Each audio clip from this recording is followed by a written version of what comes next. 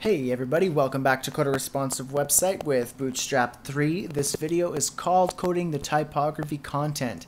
That is this section right here on the other side of the page. We just coded up this stuff, now we're going to code this stuff. This is going to be really easy, it's just text and a little special section right here called List Group. It's a new Bootstrap 3 feature uh, component where you can add list groups. It's really cool. So let's dive right in. Open your HTML. Okay, and scroll down to the section that, uh, the closing div that is end call small 6 because we're going to add another column, uh, small call 6 column section because this is 6 columns. This is also 6 columns. So because we're still in the more info div, we need to add the other 6 columns, which is this section. So let's open up a div, give it the class of call dash small dash six, and let's give it an end comment so we know where it is. And let's start by adding a level 3 heading and say some text info. And this is just an example. We're going to use some lorem ipsum, just a paragraph tag with some lorem ipsum. Below that, we're going to add a level 4 heading, a list group. This is cool. This is a brand new thing in Bootstrap 3. It's called list group. I'm going to show you that. Under components and list group, it's uh, just like a cool way of displaying a list rather than just having kind of a normal displayed list, this is kind of a really cool way of showing lists. You can do cool things with badges. You can have them be links, kind of looks like an iPhone app in a way. Or you can have custom content like a list group, which is a link with kind of neat custom content within it. So you click the whole section. So we're going to be actually adding the custom content list group. And uh, let's go back to our HTML and I'll show you how to add that. It's very easy.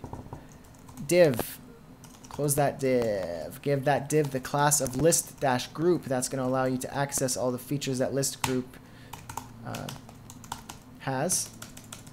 And list group, save. All right.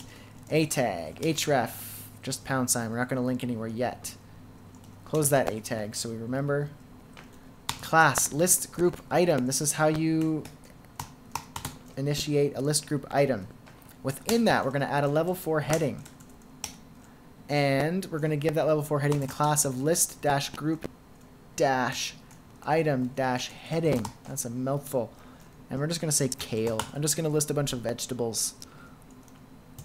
And P, paragraph tag.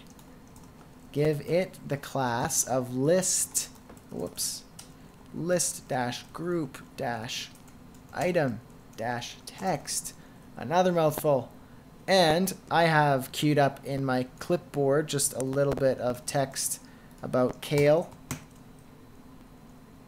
You could just write lorem ipsum in there, or you can write out this uh, this info about kale, or you could put your own info. You could put your name and then some info about you, and then you could put whatever. Doesn't matter. You can use your imagination with list group. It's awesome. All right, the cool part about this is you already added a list group. They're all identical except for the content. So copy the list group item, A tag, and paste it a couple more times. And change the content. You just have to change the content. So I'm going to say carrots. And I have some more text queued up. There's about carrots. And steel cut oats. Not really a vegetable, but uh, good enough. It's healthy. All right, and save that. We added the list group. Let's check it out. Save and go back to your website, refresh. Here we go, already. Awesome. So we have the text info, the lorem ipsum paragraph text, the list group, and the list group items. Look at that. They're all links too, so you can click on it and open up a new page about kale if you wanted.